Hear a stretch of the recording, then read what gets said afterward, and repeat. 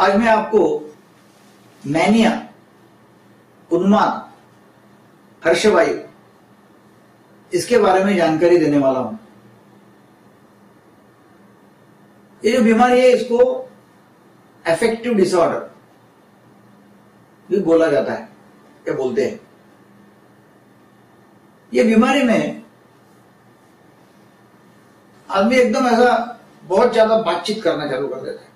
तो इसका स्वभाव जो है ना पहले से, वो ऐसा सब में मिलने वाला, हँसी मज़ाक करने वाला, या सबसे बातचीत करने वाला रहता है। इसको बोलते हाइपोमैनिक पर्सनैलिटी तो ये कोई भी उम्र में बीमारी आ सकती है। पुरुष या स्त्री को इसको भी शरीर की बीमारी है मतलब ऐसा उसमें कोई फ़र्क नहीं है। मगर यदि माता पिता जी को ये बीमारी यदि है तो बच्चों में बीमारी आने की संभावना ज़्यादा होती है। इसमें होता क्या है कि व्यक्ति काफ़ी ज़ोर ज़ोर से बोलना चालू कर देता है बातचीत करना चालू कर देता है। होता है कि नहीं मुझे आ, बहुत लोग पहचानते हैं। मेरा तो बैंक बैलेंस बहुत है मैं करोड़पति हूँ। तो बोलता है कि नहीं मेरा ये आमदार पहचान का है ये खासदार पहचान का है। फिर कुछ लोग बोलते नहीं नहीं मैं तो खासदार ही हूँ उनका तो पीए हूँ। या भी इलेक्शन में मैं लड़ने वाला हूँ, या प्राइम मिनिस्टर के साथ में मेरे संबंध है, ऐसा वो बड़ी बड़ी बातें करेगा। और ये बातें जब करता है तो उससे बात करने में हम मतलब अपने को मज़ा आता है। बहुत हम उसमें एंजॉय कर सकते हैं। तो इस तरह से वो बातें करता है। और वो एक बात से दूसरी बात तक, दूसरी बात से तीसरी बात तक मतलब ऐसा फ़्लाइट ऑफ़ आइडियाज़ मतलब ऐसा उड़ान भरता है वो। उसके विचार जो ऐसे इतने फटाफट फटाफट बदलते जाते हैं। और ये व्यक्ति को अपना कहना, खुद का कहना, ऐसा लगता है कि नहीं, मैं जो बोल रहा हूँ, वही सही है। डोमिनेट करता है लोगों के ऊपर। और अपना कहना मानना चाहिए, ऐसा उसको लगता है। कोई भी उसका विरोध करता है तो वो उसको मतलब उसे झंझट मोल लेगा, या झगड़ा कर लेगा, उसको प्रेशर डालेगा, और वो खुद का ही जो है, वो बराबर ऐसा बोलेगा। ये व्यक्ति पैसा भी बहुत खर्चा करता है। बहुत पैसा खर्चा करेगा मतलब कहीं से भी जाके उधार माल लाएगा, अपनी पहचान से वो बोलना, कोई मेरा नाम लिखो, मेरे पिताजी का नाम लिखो और माल लेके आएगा। कुछ लोग बड़े बड़े सौदे कर डालते हैं, या बड़े बड़े सौदे मतलब खरीदते हैं या बेच भी डालते हैं। बड़े अच्छे कपड़े पहनेंगे, गहने लाएँगे, अंगूठिया, नेकलेस, और ऐसा मतलब बहुत ही रंग बिरंगे कपड़े पहनेंगे।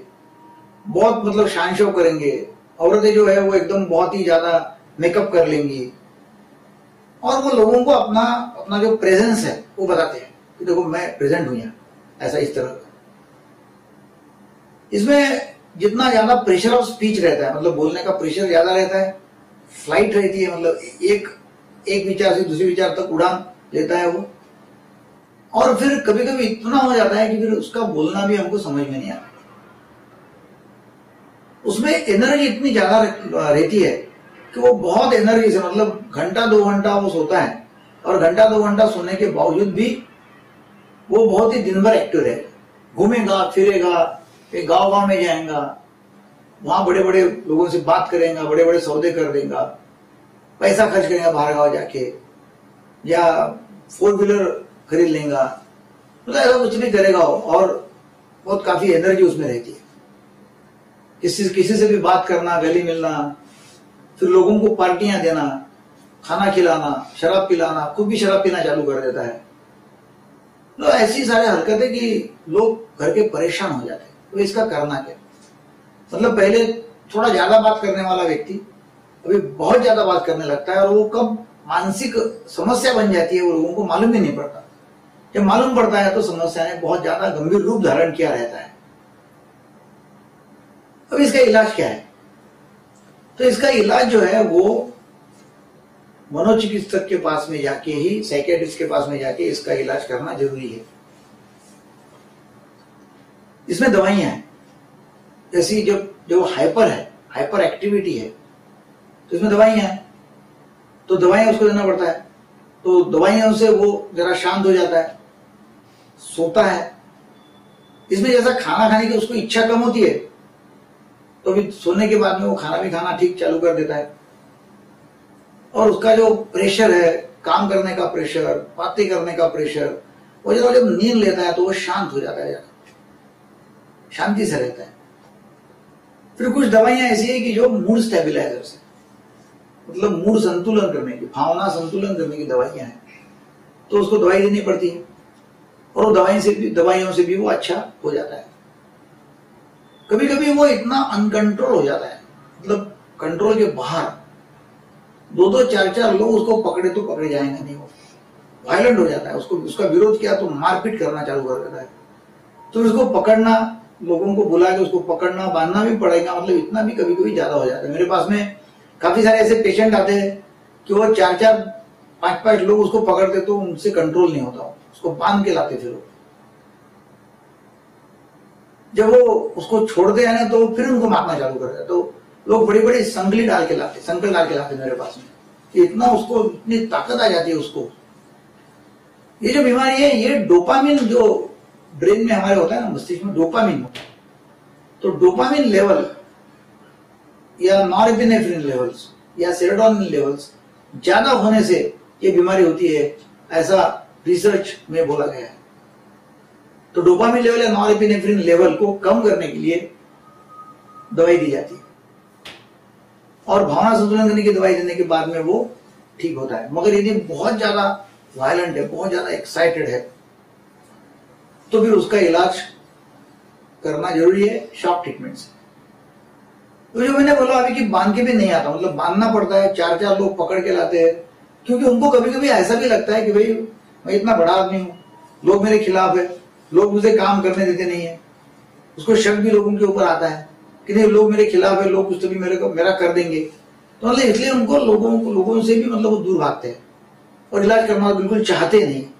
मुझे कुछ नहीं हुआ है, ऐसा बोलते हैं। तो उनका इलाज को लाना ये एक बड़ी समस्या हो जाती थी।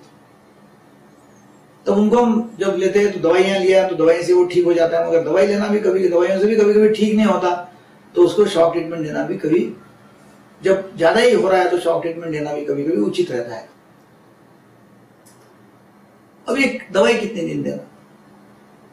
तो दवाई उसकी छह महीने से लेकर साल भर देना उसको ज़रूरी है। दवाई से वो कंट्रोल में थोड़ा आ गया। पंद्रह दिन में, एक महीने में कंट्रोल में आ गया तो होता क्या है कि ये लोग दवाई अपनी बंद कर डालते तो जो एक्चुअली जो सोर्स है, समस्या का मूल रूप जो है, बीमारी जो ब्रेन में है, वो संतुलन तो हुआ ही नहीं। फिर से वो ज़ोर लेता है। और फिर वो बीमारी जैसी की वैसी हो जाती है। इसलिए उसका इलाज छह महीने से लेकर साल भर करना ज़रूरी है। और हमारे यहाँ तो ऐसी व्यवस्था है अकोला में कि यदि रिश्तेदार है, उनको रहना नहीं है पेशेंट के साथ में, उनको डर लगता है, या उनको अपने गाँव में जाके काम करना है, क्योंकि उनकी रोजी रोटी उनके हाथ के ऊपर रहती है, काम करना है या उनके साथ में रहने का, रहने के लिए कोई व्यक्ति नहीं है तो हम उसको हमारे पास में रखते हैं। रिश्तेदार उनको वापस भेज देते हैं, उसका इलाज करके हम उनको वापस लेके जाने के लिए बोलते हैं। तो ये भी व्यवस्था हमारे पास में है तो लोगों को काफ़ी सुविधा हो जाती है। तो ये मैनिया जो है, इसका इलाज पूर्ण रूप से संभव है। कभी कभी ये मैनिया के साथ में मतलब एक बार वो अच्छा हो गया तो फिर से साल, दो साल के बाद में फिर से उसको मैनिया आ सकता है। मतलब उन्माद या हर्षवायु फिर से उसको ये दौरा पड़ सकता है। या फिर उसको कभी डिप्रेशन का, निराशा का, हताश का दौरा, उदासीनता का दौरा भी पड़ सकता है। तो ये एक बार हाइपर एक बार डाउन मतलब ऐसा नहीं होना चाहिए। इसके लिए मूड संतुलन, या भावना संतुलन की दवाई दिया तो उसका ऊपर नीचे होना संभव नहीं है, फिर वो नॉर्मल रह सकता है। ये सभी लोग मतलब मैनिया के लोग, हर्षवायु के लोग जो है, ये जो पेशेंट है, ये अपनी ज़िंदगी अच्छी तरह से काटते हैं। अच्छी तरह से बिताते हैं। मतलब उनको, बाकी एक बार वो दौरा निकल गया तो पूरी तरह से वो अच्छे रहते हैं।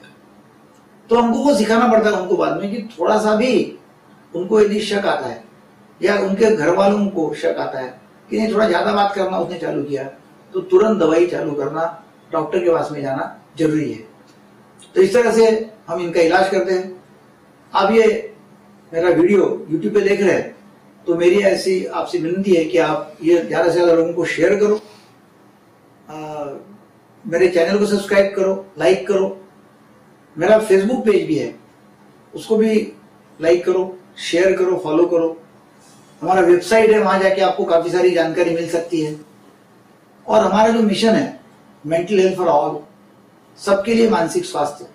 हमारे पूरे देश में सबको सबको मानसिक स्वास्थ्य मिले और जिनको मानसिक स्वास्थ्य नहीं है, अस्वास्थ्य है मतलब जिनको बीमारी है, उनका इलाज भी पूरी तरह से होके वो अपना जीवन जो है वो अच्छी तरह से बिता सकेंगे, इसलिए हम खड़े हैं। तो इसलिए ये हमारे मिशन में आपका सहयोग, आपकी पार्टनरशिप ज़रूरी है और इसके लिए मैं आपको रिक्वेस्ट करता हूँ, मुझे विश्वास है कि आप पूरी पार्टनरशिप आप हमारे हमको देंगे। So thank you very much see you bye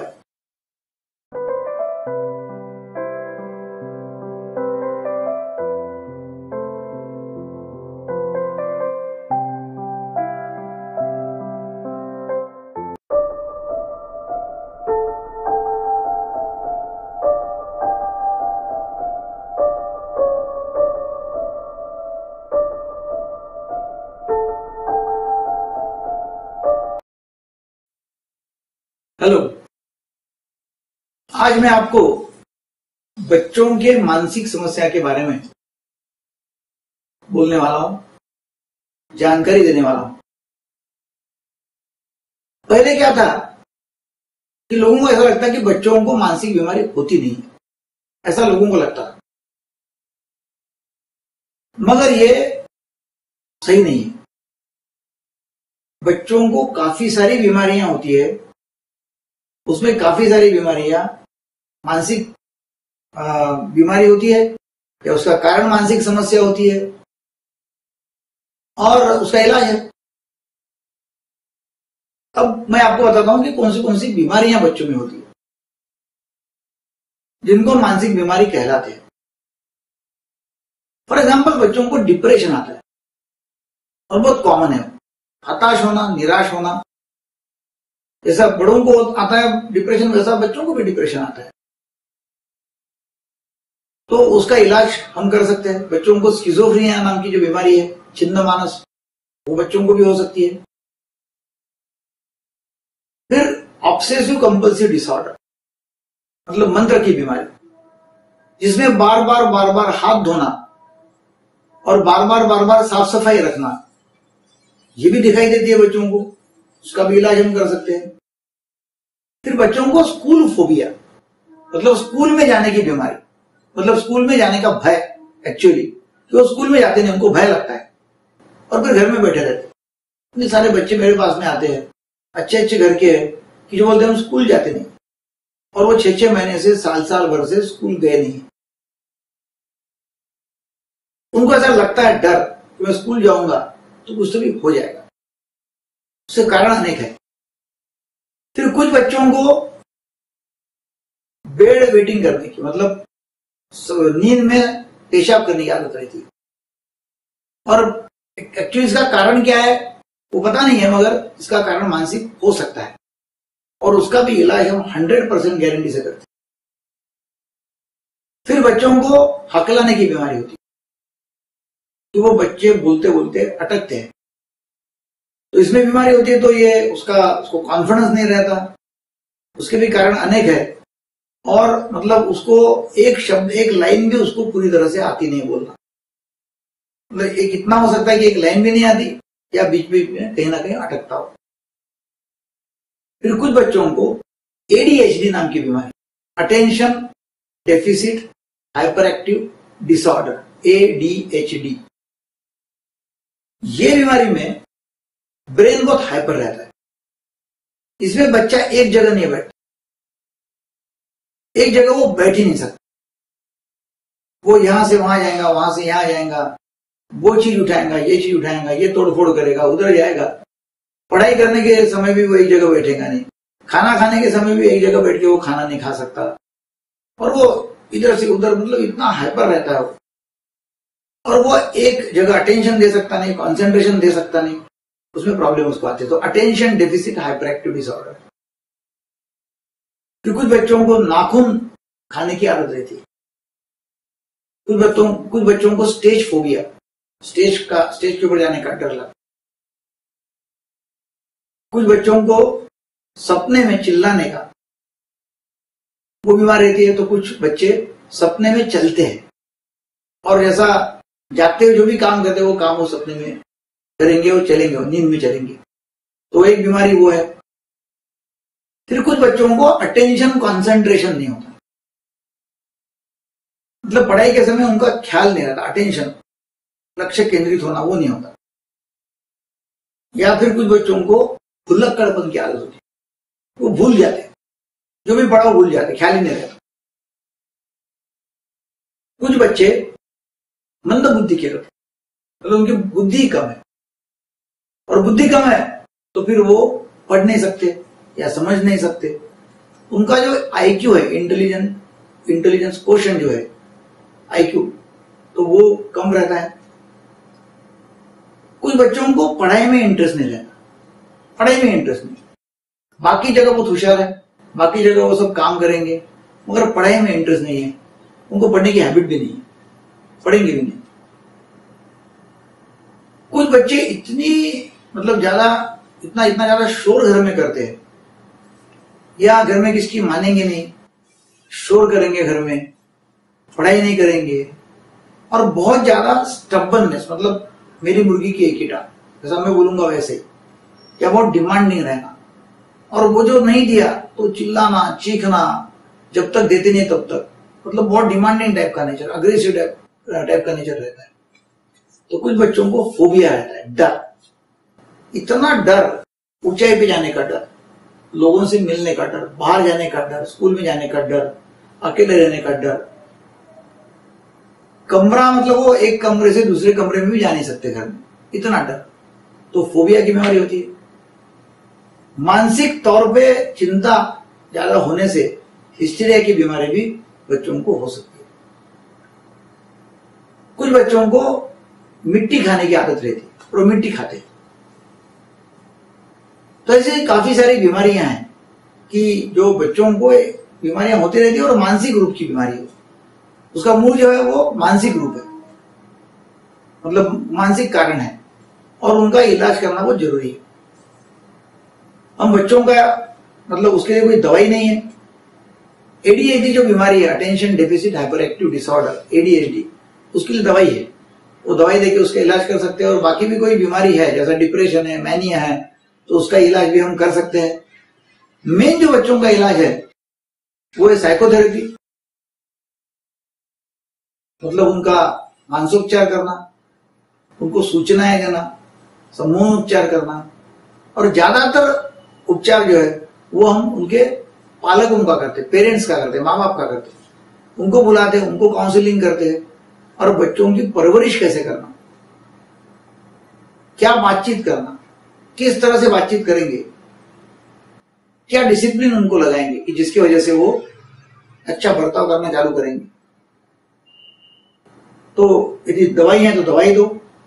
parent counselling है तो पेरेंट काउंसलिंग मानसोपचार है तो मानसोपचार। इस तरह का उनका इलाज हो जाता है और वो बच्चा जो है, वो पूरी तरह अच्छा जीवन उसका बिता सकता है। मंद बुद्धि है तो उसका कोई इलाज वैसा नहीं है, मगर तभी भी मंद बुद्धि कितनी है कितनी बुद्धि कम है उसकी आईक्यू कितना है? वो हिसाब से उसका, उनके पेरेंट्स का हम काउंसलिंग करते हैं, ताकि वो भी बच्चे अच्छा जीवन उनका बिता सके। आप जो मेरे, मेरा वीडियो देख रहे हैं, ये यूट्यूब पे देख रहे हैं तो आप ये चैनल को सब्सक्राइब करो, लोगों के साथ में शेयर करो। हमारा फेसबुक है पेज को लाइक करो। हमारे वेबसाइट को विज़िट करो। और आपको काफ़ी सारी जानकारी यहाँ मिलेंगी। तो जानकारी आप लेके ज़्यादा से ज़्यादा लोगों को शेयर करो ताकि लोग भी इसको मालूम मतलब करेंगे, इसका इस्तेमाल करेंगे और मतलब काफ़ी सारे बच्चे अच्छे हो सकते हैं। तो हमारा जो मिशन है मेंटल हेल्थ फॉर ऑल तो उसका, उसमें आपका सहयोग होना बहुत ही ज़रूरी है। आप हमारे पार्टनर बनिए और उसमें सहयोग देके एक नया भारत बनाने की हम कोशिश करेंगे ताकि ईच एंड एवरी पर्सन हर एक व्यक्ति अच्छा जीवन बिता सकेगा। जो मानसिक रोगी है, उसका भी इलाज हो जाएगा। So thank you very much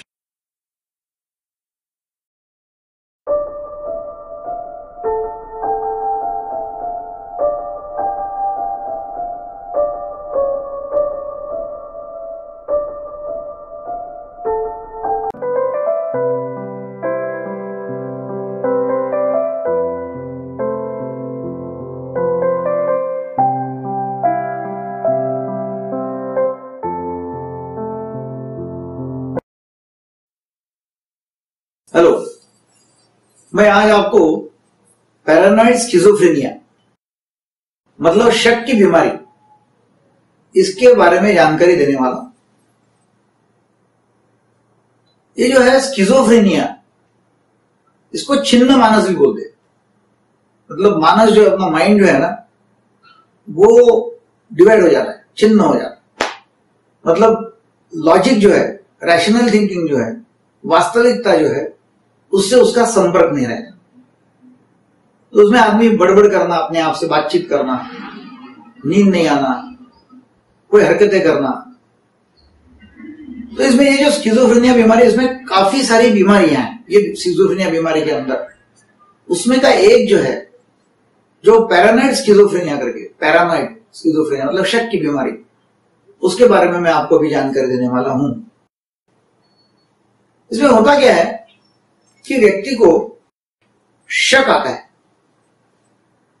और शक उसको हर बात पे, हर लोगों पे आते रहता है। शुरू होता है वो एकदम छोटी सी बात से। वो बढ़ते बढ़ते बढ़ते बढ़ते वो बहुत बड़ा रूप धारण कर लेता है। तो शक कौन सा है? उसको शक आता है कि भाई मेरे बारे में लोग बातचीत कर रहे हैं। लोग मुझे देख के हंस रहे हैं। या पुलिस मेरे पीछे लगी हुई। है पुलिस मुझे अरेस्ट कर लेगी, पकड़ लेगी। तो मतलब घबरा के छिप जाता है घर। उसको लगता है कि नहीं, अपने बारे में लोग बातें कर रहे हैं, अपने बारे में, टीवी में, अपने बारे में, रेडियो पे, अपने बारे में, अखबार में, कुछ अलग अलग बातें छपी जा रही है। कहीं भी दिखा तो उसको शक आता है लोगों के ऊपर ये लोगों मेरे बारे में बात कर रहा है।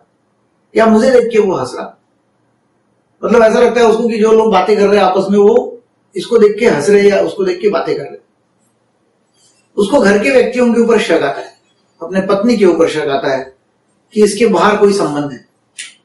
या फिर इसके ये मुझे कुछ मिला के देती है क्योंकि इसके संबंध है तो मुझे मारना चाहती है। ये इतने मतलब इसमें मतलब गहरा इसका असर हो जाता है कि वो अपने पत्नी को बाहर जाने देता नहीं, उसका मोबाइल छीन लेता है तो उसके बाहर संपर्क है। और बाहर कहीं ना कहीं ये संपर्क रखती है, उसके कोई दोस्त है या कोई आदमी है, कि जिसके साथ में ये संपर्क करती है दोस्त है।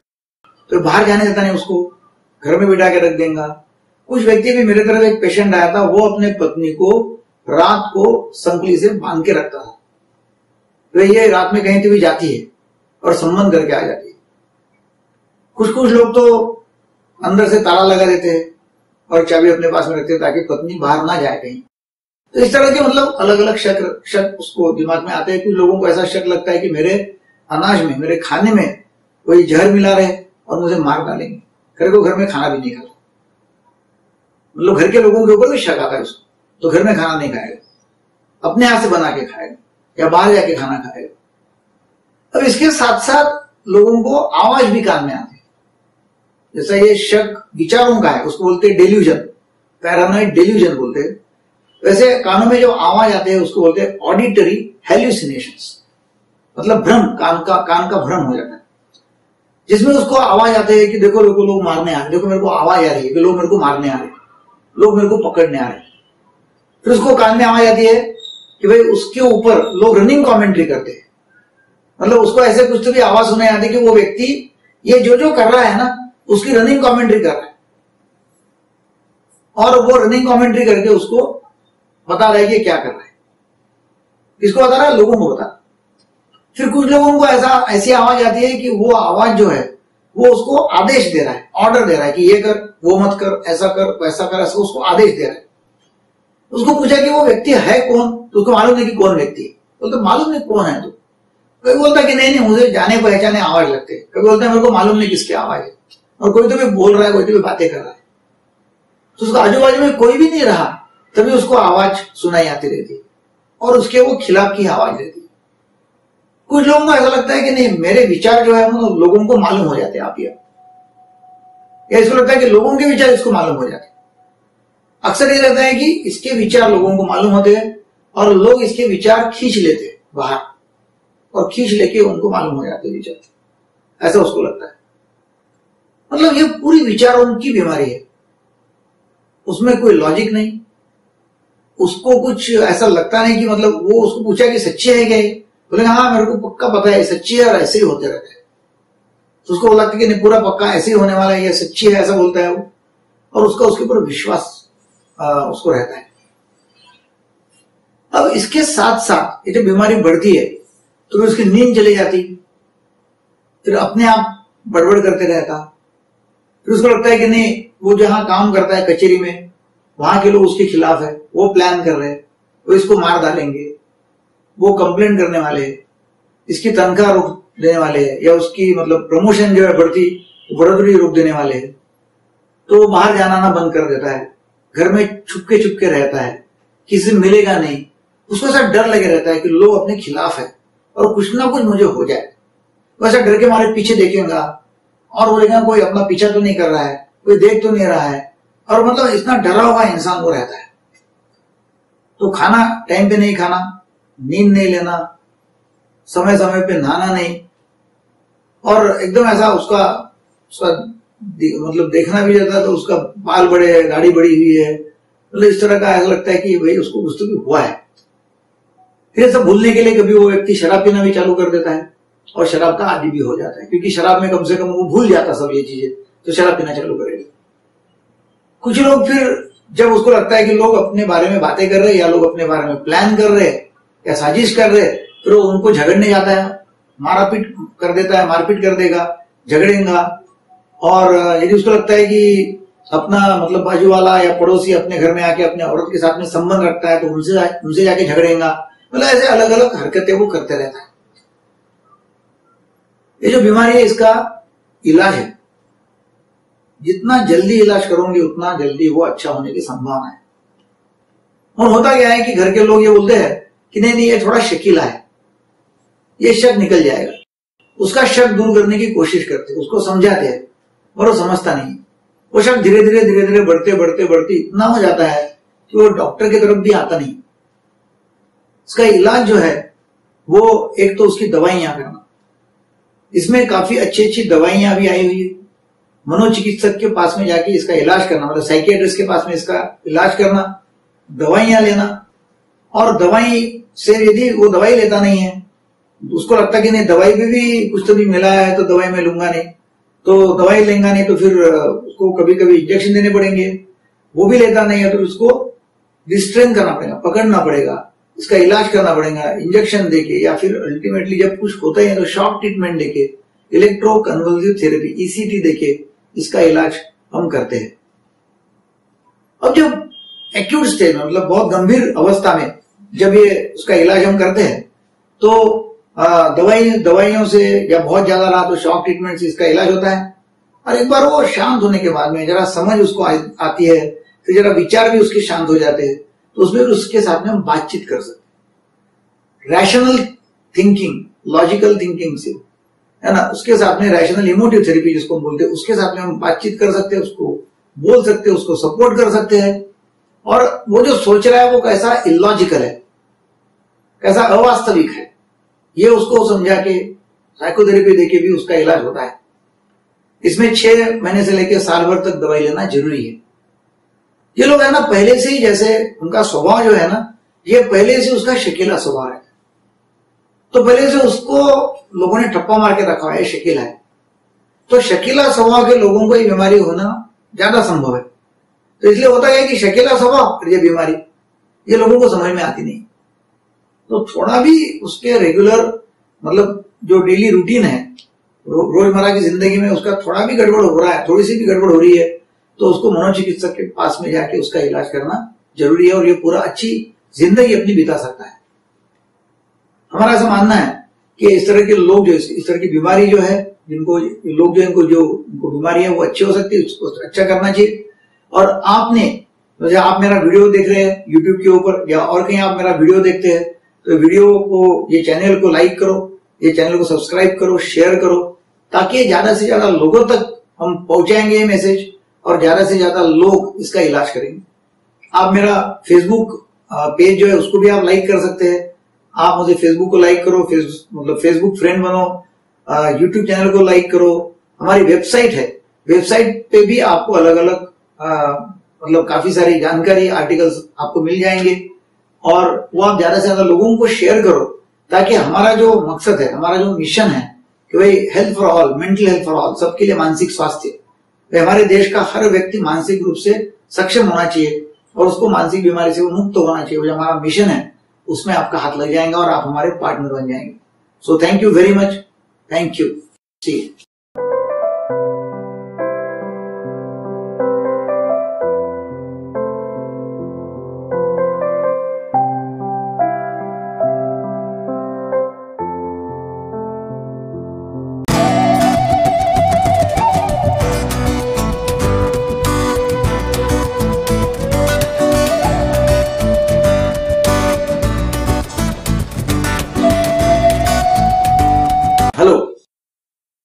आज मैं भी आपको सेक्स बीमारियाँ जो है, लैंगिक समस्याएँ, उसके बारे में जानकारी देने वाला हूँ। सेक्स बीमारियाँ जो है, लैंगिक समस्याएँ, वो अक्सर ज़्यादातर मनोविकार नहीं आती मतलब उनका जो कारण है, वो मानसिक समस्या, उसका कारण होता है। मगर होता क्या है कि ये बीमारियाँ इनको होती है, वो मनोचिकित्सक के पास में आते नहीं।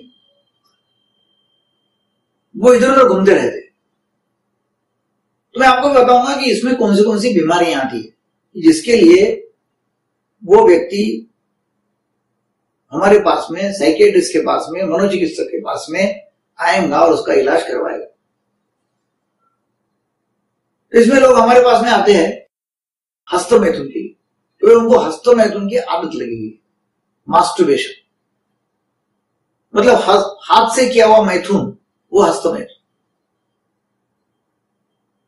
तो इनको बीमारी क्या होती है कि ये हाथ से शिश्न के ऊपर घर्षण करते उनको अच्छा लगता है, और वो घर्षण करते करते उनका वीर्य बाहर निकलता है। अभी हमको हमारे मतलब कल्चर में, संस्कृति में ऐसा बताया गया है कि वीर्यनाश जो है, इस तरह का वीर्यनाश जो है, उसकी वजह से कमज़ोरी आती तो हस्तमैथुन की वजह से कमज़ोरी आती नहीं है, ऐसा हम बार बार बोलते रहते हस्तमैथुन नॉर्मल प्रक्रिया है। और उसका कोई इलाज नहीं है। मतलब लेकिन नॉर्मल तो इलाज क्या करना यदि वो उसकी हैबिट हो जाती है, हस्तमैथुन की मतलब आदत गिर जाती है और उसके दिमाग में वही वही बार बार आता है। तो उसका इलाज हम कर सकते हैं और वो इलाज करना ज़रूरी होता है। फिर दूसरे हमारे पास में जो लोग आते हैं, वो आते हैं कि रात में वीर्यपात होना और कपड़े खराब होना। होता क्या है कि शादी के पहले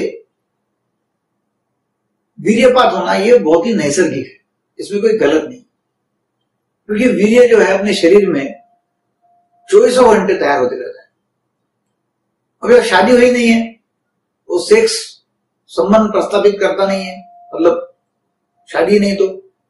और फिर उसके वजह से जो तैयार हो रहा है अभी तो वो ओवरफ्लो हो जाता है। और ओवरफ्लो होने के कारण उसके कपड़े खराब हो जाते हैं। तो उसको हम बोलते हैं नॉक्चर्नल एमिशंस स्वप्नावस्था या स्वप्न दोष सपन दोष ये कोई बीमारी नहीं है।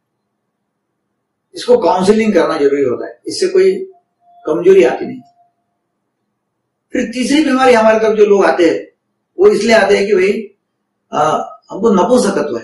मतलब शिश्न में कमज़ोरी है। और शिस्न में कमज़ोरी होने के बहुत सारी वजह है। बहुत सारी वजह मेजोरिटी जो है मतलब 40 साल की उम्र के पहले, यदि उनको ये समस्या आती है तो ये समझ लो कि वो साइकोलॉजिकली है। मनो मन के ऊपर टेंशन आने की वजह से या मानसिक समस्या की वजह से उसको नपुंसकत्व आता है।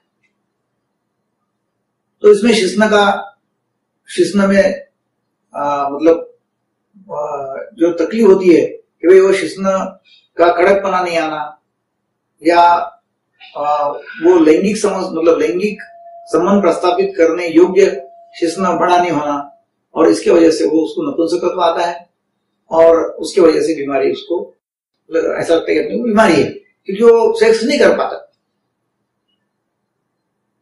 तो इसका जो कारण है, वो हमको कारण देखना पड़ता है कि कारण, कौन से कारण से हुआ है। कोई कारण है तो कारण का इलाज करो। और कारण, कोई उसका कारण नहीं है, मानसिक कारण है तो उसका वैसा इलाज करना ज़रूरी है। फिर चौथा जो मेन हमारे पास में जो लोग आते हैं, वह शीघ्र विद्यपन शीघ्र पतन ये संबंध जब करता है व्यक्ति तो उसको वीर्यपात जल्दी हो जाता है। मतलब क्रिया करने के बाद तुरंत कुछ सेकंड में उसको वीर्यपात हो जाता है। और इसकी वजह से उसको मतलब दोनों को, मियाँ बीबी को, दोनों को सेक्स में इतना संतोष मिलना चाहिए, उतना संतोष, समाधान नहीं मिलता। तो इसे चार बड़ी बड़ी जो तकलीफ़ है, उसकी वजह से लोग आते हैं। फिर हमारे पास में लोग आते हैं कि भाई मधु चंद्र जब रहता मतलब शादी के बाद की पहली रात तो उसमें समस्या हो गई। और वो समस्या होने के कारण लोग हमारे पास में आते, क्योंकि उसमें रहता है कि लड़का बोलता है कि मैंने तो ये जो है मैथुन किया, समागम किया, लड़की बोलती है, नहीं, इसने नहीं किया। और फिर उनका झंझट झगड़ा शुरू हो जाता है और वो हमारे पास में आते हैं। तो ऐसे अलग अलग समस्याएँ, सेक्स की है, लैंगिक समस्या है फिर इसके बाद में कुछ लोग आते हैं कि जिनको समलिंगी आसक्ति होती है मतलब होमोसेक्सुअलिटी तो समलिंगी आसक्ति जो है, उसमें लड़का लड़का, समलिंगी, प्यार उसका हो जाता है, और वो उसको समलिंगी सेक्स करने में मतलब लड़का लड़के से सेक्स करेगा, या लड़की लड़की से सेक्स करेगी, उसको लेस्बियन लेस्बियनिज्म बोलते हैं लेस्बियन बोलते हैं। तो वो करेंगे और वो इतना प्यार में हो जाते कि कभी कभी वो शादी भी नहीं करते। मतलब अपोजिट सेक्स के साथ में वो दोनों लड़कियाँ ही रहते हैं और वो शादी भी नहीं करते, आपस में वो इतना प्यार होता है कि वो रहते रहते या दोनों लड़के साथ में रहते, वो शादी नहीं करते और उनको आपस में इतना प्यार होता है कि वो सेक्स करते रहते तो ये होमोसेक्सुअलिटी है। तो ऐसी अलग अलग बीमारियाँ और फिर कमज़ोरी इसकी वजह से जो आती है, उसके लिए काफ़ी लोग आते हैं कि भाई हमको ये बीमारी है और इसकी वजह से कमज़ोर हम हो उसका इलाज करो। फिर कुछ लोग इसलिए आते हैं कि भाई हार्ट अटैक आ गया। और हार्ट अटैक आने के बाद में मतलब हृदय विकार हो गया उसका हृदय का झटका आ गया दिल का दौरा पड़ गया उसके बाद में अभी सेक्स में कमज़ोरी आ गई। या उसको उनको डायबिटीज़ है मतलब शुगर की बीमारी है शक्कर की बीमारी या ब्लड प्रेशर है उसकी दवाई खा रहे और वो दवाई की वजह से उनको आ, मतलब संबंध प्रस्तावित नहीं कर सकते सेक्स नहीं कर सकते और उनको नपुंसकत्व आता है। इसके अलग अलग कारण है। मैं एक अलग वीडियो में सेपरेट अलग अलग बीमारियाँ लेके मैं आपसे बात बातचीत करूँगा, ताकि आपको उसका डिटेल ब्यौरा मिलेगा और उसमें जो भी आपको जानकारी चाहिए वो पूरी मिल सकती है। हमारा उद्देश्य है कि ये बीमारी की वजह से जो लोग, जो लड़के लोग शादी के पहले खुदकुशी कर लेते हैं, कि नहीं, हमको सेक्स में मैं कमज़ोर हूँ, मैं सेक्स के लायक नहीं हूँ, शादी नहीं करता हूँ, या शादी करने के बाद में भी कमज़ोरी है और वो खुदकुशी कर लेते हैं तो इसमें यदि उनका इलाज हम पूरा करते हैं तो वो पूरा अपना जीवन अच्छा अच्छा जी सकते हैं अच्छा बिता सकते हैं। क्योंकि देखो, दिल का दौरा पड़ गया तो एक बार लोगों को चलेगा। मगर सेक्स नहीं कर पाते, ऐसा इनको मालूम पड़ गया, ऐसा उनको बीमारी हो गई तो सहन नहीं कर सकते। तो मेरा ऐसा मानना है कि आप तो ये वीडियो देख ही रहे तो ये वीडियो आप ज़्यादा से ज़्यादा लोगों के साथ में शेयर करो। मेरे वीडियो के लिए जो यूट्यूब का चैनल है, उसको आप सब्सक्राइब करो। मेरा फेसबुक है, उसका पेज लाइक करो सेक्सोलॉजी का। और हमारी वेबसाइट है, उसमें भी जाके आप और जानकारी ले सकते हैं। अधिक जानकारी के लिए आप मेरे को, मुझे संपर्क मतलब संपर्क कर सकते हैं। और यही मैं इतना ही करूँ, कहूँगा कि हमारा जो मिशन है मेंटल हेल्थ फॉर ऑल सबके लिए मानसिक स्वास्थ्य, इसके लिए आपकी सहायता ज़रूरी है। आप हमारे उसमें पार्टनर बनिए। और ज़्यादा से ज़्यादा लोगों तक तो ये, जो हमने आपको इंफॉर्मेशन दी, जानकारी दी वो लोगों को तक पहुंचाएँगे ऐसा मेरा विश्वास है। थैंक यू वेरी मच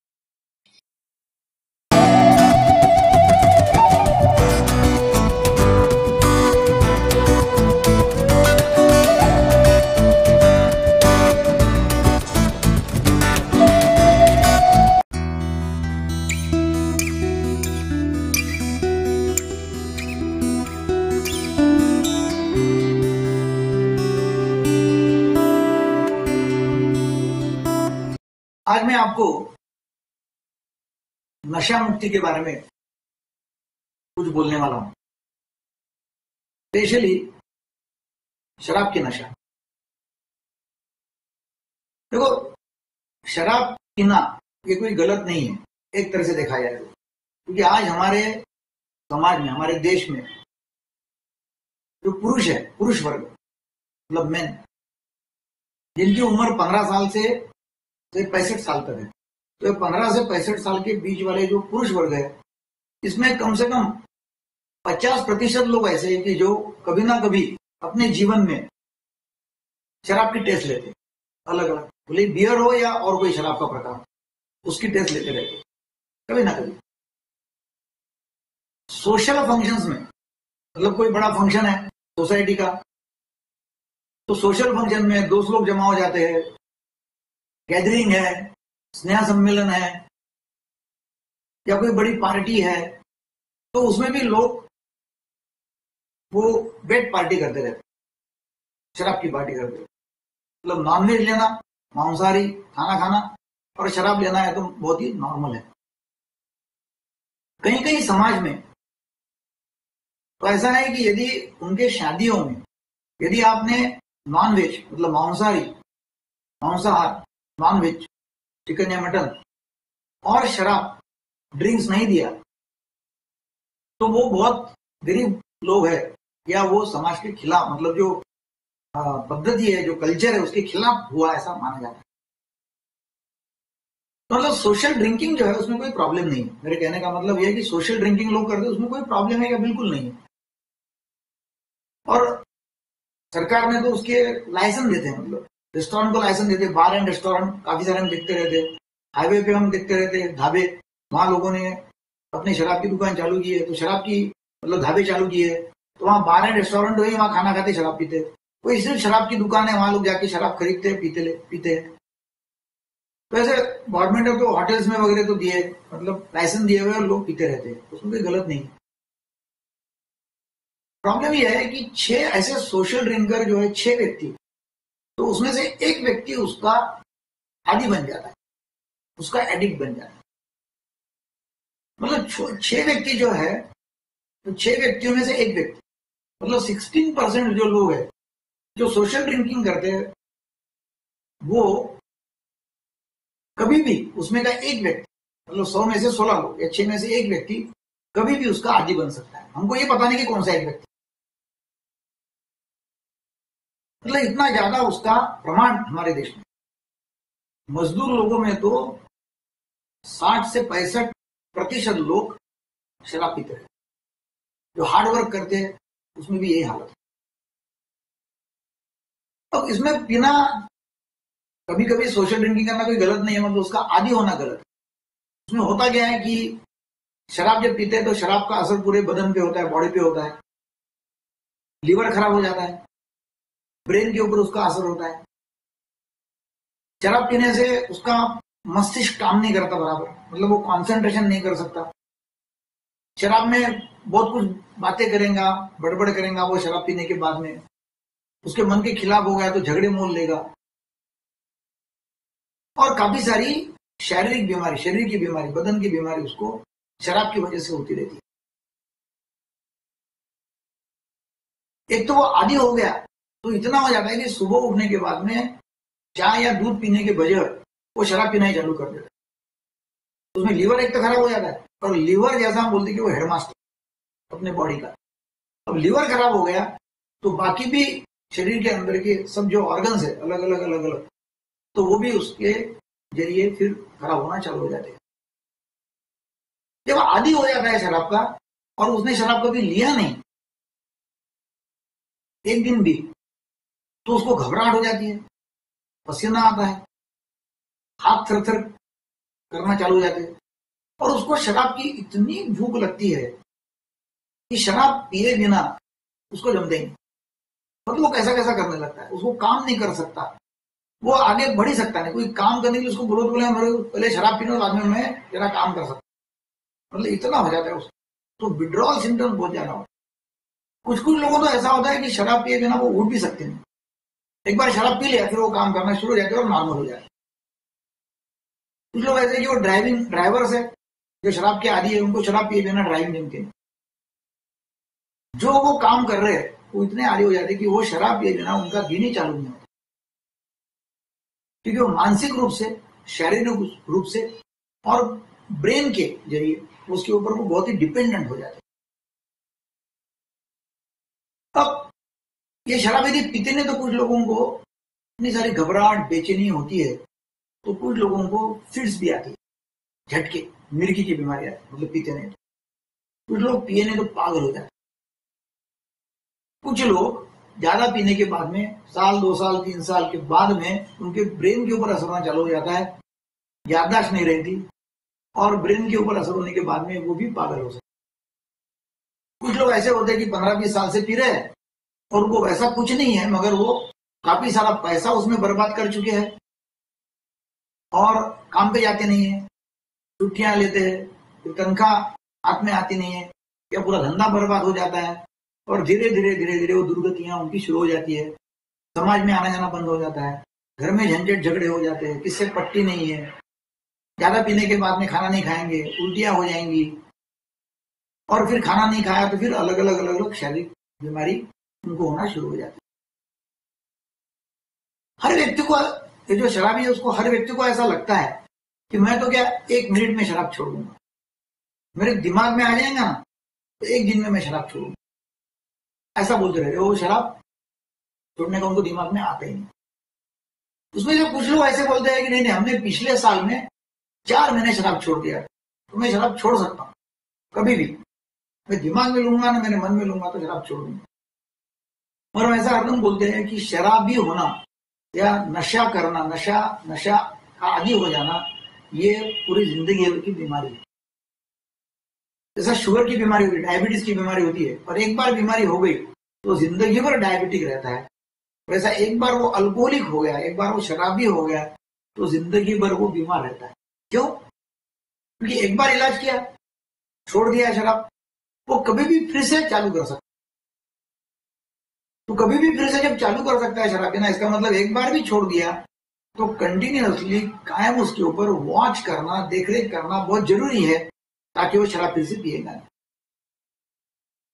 तो इसका इलाज क्या है? एक तो वो खुद व्यक्ति कभी आता है हमारे पास में, कि मेरे को शराब छोड़ने का तो बहुत ही अच्छा है। क्योंकि फिर उसका इलाज करना बहुत ही आसान है, क्योंकि वो खुद बोल रहा है कि मेरा इलाज करो। दूसरा, काफ़ी सारे व्यक्तियों को लाया जाता है, ज़बरदस्ती पकड़ पकड़ उनको शराब पिला पिला के हमारे पास में ला इसकी शराब छुड़वाओ। अब ये व्यक्ति का इलाज करना बहुत कठिन हो जाता है। क्योंकि उसका, उसको पहले मोटिवेट करना, शराब छोड़ने के लिए, उसकी मन की तैयारी करना। वो तैयार नहीं रहता शराब छोड़ने के लिए, बोलता मेरे को शराब छोड़नी नहीं है। और एक बार तैयारी हो गई मन की, बाद में शराब छुड़वाना। जो लोग तैयार नहीं रहते हैं तो उनके लिए, उनके घर के लोग हमारे पास में आते हैं, दवाई लेके जाते हैं। और उनको बिना बोले उनके अनाज में खाने में या दूध में काय में भी कोई भी शराब मतलब शरबत में उनको दवाई पिला के वो शराब से मुक्त हो सकते ऐसी दवाइयाँ हैं कि उनको देते हैं ना धीरे धीरे धीरे उनकी इच्छा कम हो जाती है। या फिर उनको वो दवाई लेने से ऐसा होता है कि शराब लिया दवाई के ऊपर तो उनको उल्टियाँ आना शुरू हो जाती है। और उल्टियों से वो इतने परेशान होते हैं तो उनको धीरे धीरे ऐसा लगना लग, लगने लगता है कि भाई अभी मैं आजकल शराब पीता हूँ ना तो मुझे उल्टियाँ होती है। तो इसलिए वो शराब छोड़ देते कुछ लोग शराब छोड़ना, पकड़ना चालू रखता है उनको, चालू रखते हैं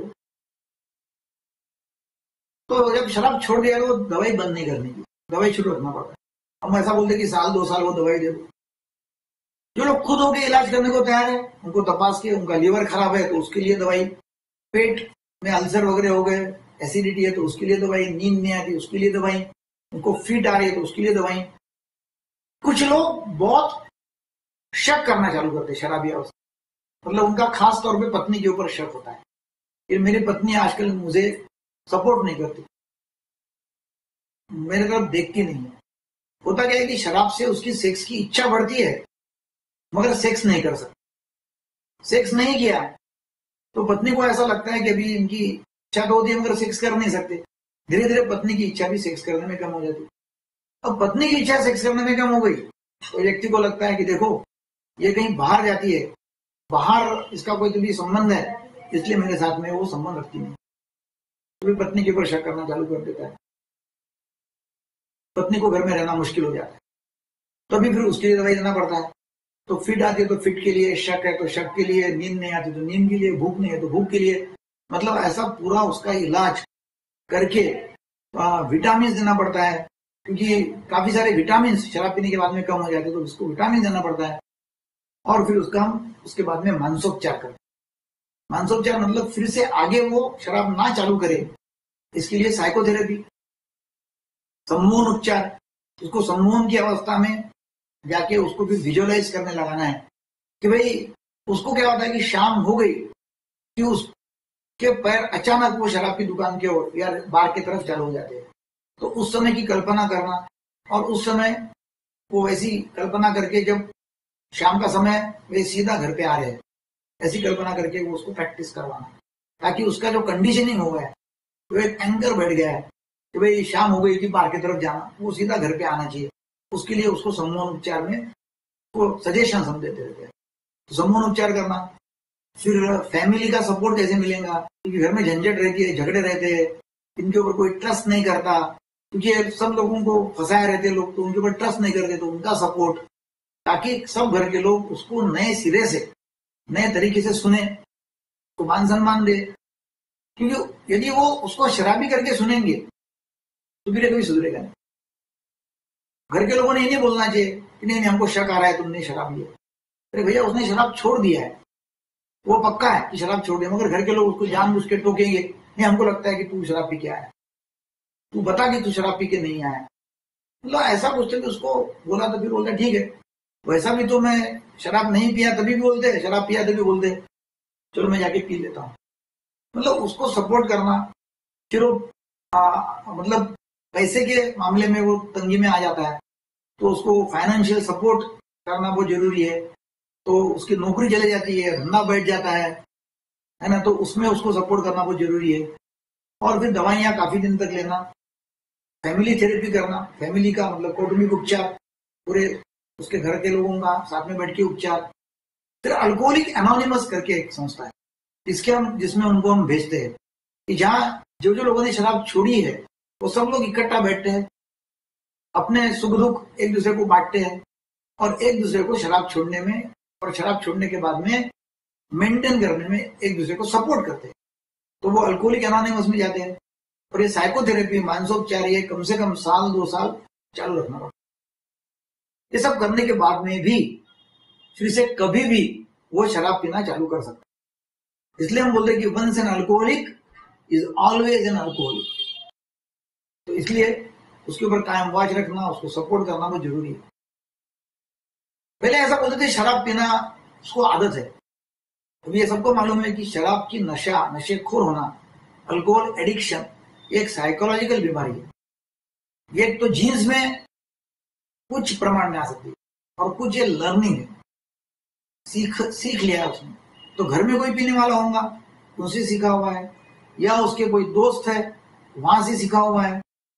तो जब ऐसा है कि भाई घर के लोगों का सपोर्ट होना उसने कभी सीखा हुआ है तो उसको हरदम के लिए सपोर्ट करना बहुत ज़रूरी है, वो व्यक्ति को। और सपोर्ट करेंगे तो इसकी बीमारी हरदम के लिए अच्छी रहेंगी। तो ये बीमार है मतलब उसको मानसिक बीमारी है और इसके लिए मनोचिकित्सक का इलाज होना ज़रूरी है। तो मनोचिकित्सक के पास में ले जाना, उसका इलाज करना। हमारे पास में लोग क्यों नहीं आते? तो बोलते, नहीं नहीं, डॉक्टर केड़कर के पास में गए, मैं क्या पागल हूँ? मैं तो कभी भी छोड़ सकता हूँ, मैं पागल थोड़ी हुआ अरे भैया, तू पागल नहीं है।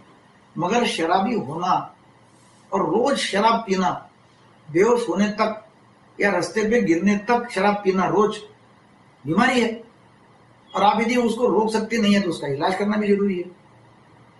तो मेरी ऐसे आपसे प्रार्थना है कि ज़्यादा से ज़्यादा लोगों तक ये मैसेज आप पहुँच जाए। शराब मुक्त लोग हो सकते हैं अच्छा जीवन वो जी सकते हैं। तो मेरे यूट्यूब पे काफ़ी सारी मनोविकार के बारे में काफ़ी सारी जानकारी है, काफ़ी सारे काफ़ी सारे वीडियोस है। तो आप वो चैनल को लाइक करो, लोगों तक तो पहुंचाओ। फेसबुक के मेरे पेजेस है, उसके ऊपर भी जानकारी दी हुई है। तो फेसबुक पेज को लाइक करो। हमारी वेबसाइट है, उसको आप उसके ऊपर जाओ, उसको विज़िट करो तो वहाँ से भी आपको जानकारी मिल सकती है। आप हमें मेल भेज से भेज के हमको संपर्क कर सकते हैं कॉल करके संपर्क कर सकते हैं। और आपके आजू बाजू में इर्द गिर्द में जितने भी लोग हैं जो शराब के आदि है उनको आप सपोर्ट करके उनका इलाज करके वो एक सामान्य जीवन जिएँगे अच्छा जीवन जिएँगे उसके लिए आप स्टैंड सो so, मैं यहाँ रुकता हूँ. Thank you very much